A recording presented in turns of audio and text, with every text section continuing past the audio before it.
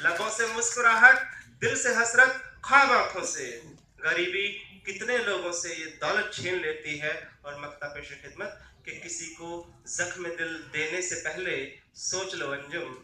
किसी को जख्म दिल देने से पहले सोच लो अंजुम। जरा सी बद भी घर से बरकत छीन लेती है। बहुत बहुत शुक्रिया।